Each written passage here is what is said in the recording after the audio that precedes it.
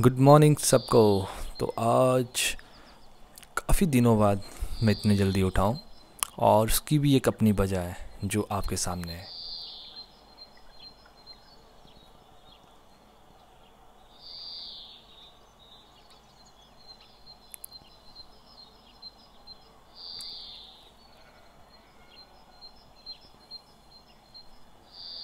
तो आज का जो अपना प्लान है, उसमें यह है कि आज हमने देवरों पर टच करके, वहाँ पे कुछ टाइम स्पेंड करके, वापस फिर से मिलाना पहुँचना है। ये टास्क काफ़ी मुश्किल है, लेकिन देखते हैं, हो पाएगा या नहीं।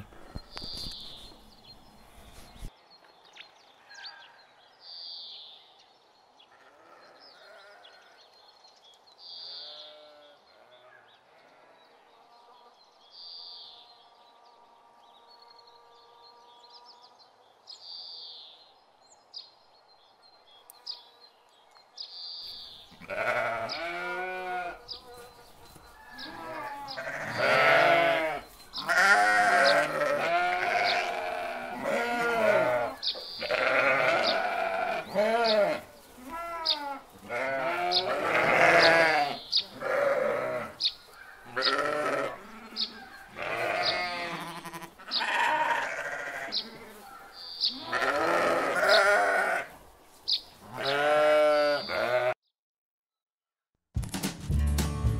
नया दिन, नई उमंग। और फिर निकल पड़े हैं हम आज, एक नई खोज की ओर।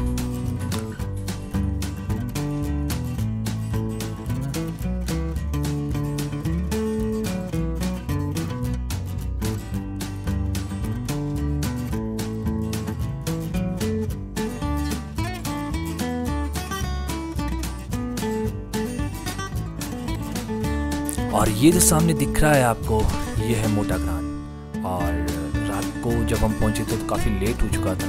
तो उस वजह से आपको अच्छे से दिखा नहीं पाया था। देखो अभी आप देख सकते हो कितना सुंदर है। मतलब एक ग्रास लैंड की तरह। और यही जगह यहाँ पे शेपर्ड्स रहते हैं।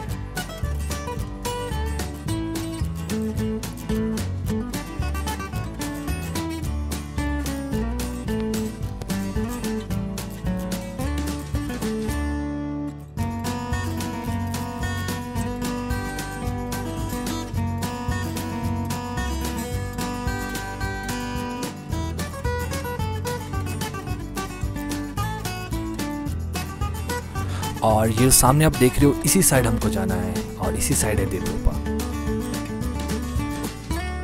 और ये है हम, नीचे।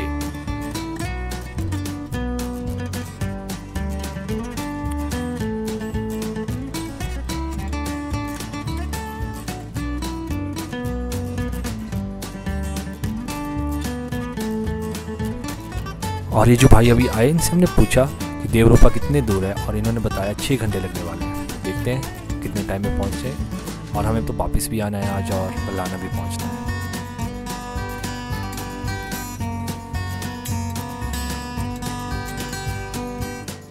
मोटा ग्राम पीछे छूटता हुआ।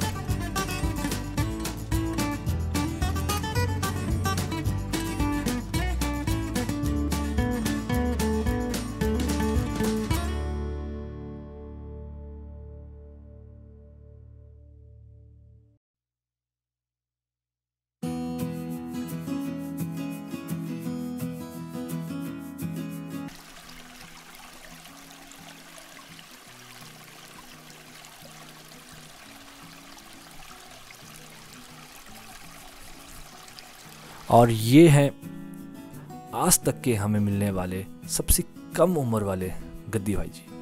और ये अकेले यहाँ पे लास्ट तीन से चार महीनों से रह रहे हैं। और जहाँ पे अभी हम जा रहे हैं ना देवरोपा, वहाँ पे ही इनका कैंप है और ये नीचे अपनी पेट बकरियों को चराने आते हैं। तो इनसे जब बात हुई तो मतलब ये काफ़ी इन्जॉय कर रहे थे। यहाँ पे इनको कोई लेना देना नहीं है बाहर की दुनिया से या फिर क्या चल रहा है वहाँ पे या फिर कुछ जो भी है। तो ये देख के सच में ही बहुत सही सा लगा और बहुत कुछ सीखने को मिला इनसे, इन दोनों से। तो जब हमने इनको पूछा कि मतलब आपको पढ़ाई नहीं करनी है या फिर ये कुछ भी नहीं करना है तो ये बोलते हैं कि ये चीज़ जो है भगवान खुद चूज़ करता है और ये हमारा मतलब सौभाग्य है कि हम ये बने हुए हैं। और ये सच में ही बहुत खुश और सेटिस्फाइड थे अपनी इस ज़िंदगी से। तो सही था। वो कहते हैं ना, सबके ख्वाब अलग हैं।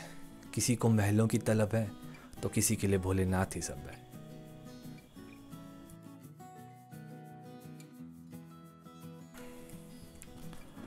और ये पहुँच गए हम चेक पॉइंट बोगडी। और ये आ रहे हैं नीचे से कुछ बंदे और। तो इसके आगे बस आप देखते रहना, मैं बोलूँगा बहुत कम। और बस फील करना इस जगह को, सच में। ये स्वर्ग से कम नहीं है।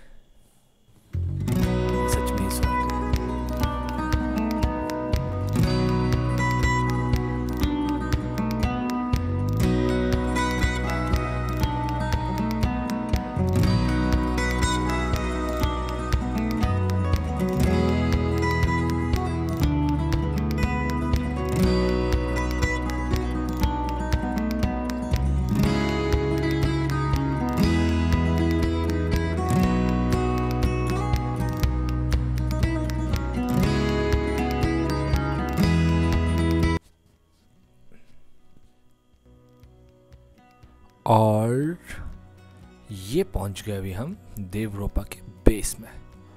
लाइक यहाँ से एक मेन वाली चढ़ाई अभी स्टार्ट होनी है और जो सबसे थकाने वाली होगी।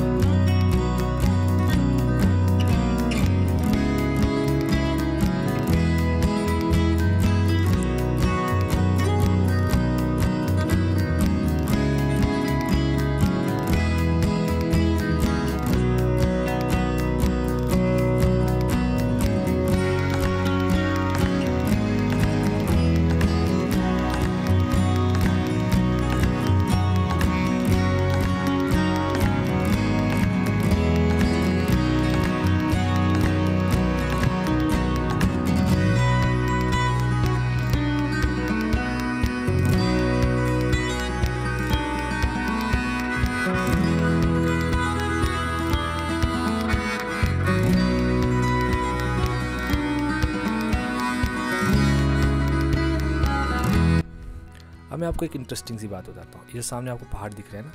एक है पाप का पहाड़ और एक है धर्म का पहाड़। जो धर्म का पहाड़ है ना, इसको हम पुण्य का पहाड़ भी बोलते हैं, लेकिन यहाँ पे सभी इसको धर्म का ही पहाड़ बोलते हैं। तो इसके पीछे जो स्टोरी ये है कि पहले जो जो धर्म का जो पहाड़ था ना ये ये पाप के पहाड़ से काफ़ी ऊँचा था। लेकिन टाइम के होते होते जो पाप का जो पहाड़ है, ये बढ़ता जा रहा है और जो धर्म का पहाड़ है, ये घटता जा रहा है।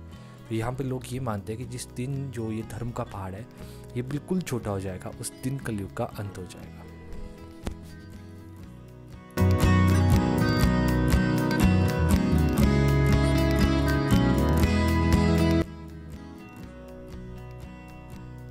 थोड़ा रेस्ट करने के बाद फिर से हमने अपना ट्रैक स्टार्ट किया और करीब करीब एक डेढ़ घंटे बाद, नीचे से एक डेढ़ घंटे बाद हम यहाँ पे पहुँचे।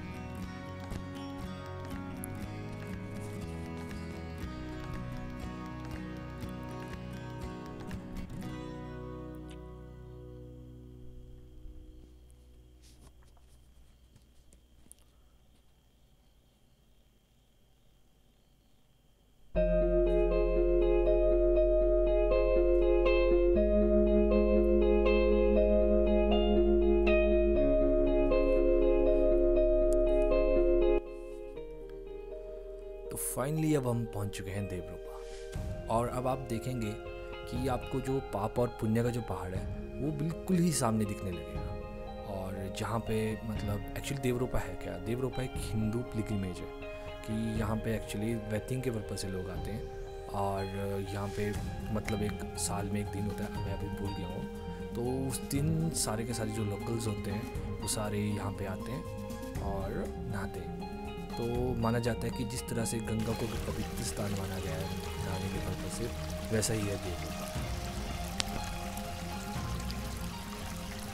और अब मिलेंगे हम अपने अगले ब्लॉग में। तब तक के लिए आप इंजॉय करो देवरूपा, और आने वाला है एक और ब्लॉग, एक नई जगह। तो जुड़े रहिए हिम पैराडाइज के साथ। तब तक के लिए शब्बा खैर। Good bye and take care